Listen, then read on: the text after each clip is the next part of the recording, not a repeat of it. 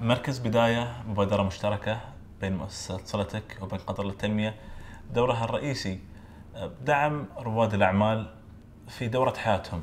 رائد الأعمال يبدأ ومعه فكرة طموحة في رأسه ونحن نأخذ رائد الأعمال خطوة بخطوة في هذا السياق إلى أن يصل بفكرة متزنة مع دراسة للجدوى قابلة للتحقيق بعد أن أتم الدراسة الكاملة لهذا الجدوى.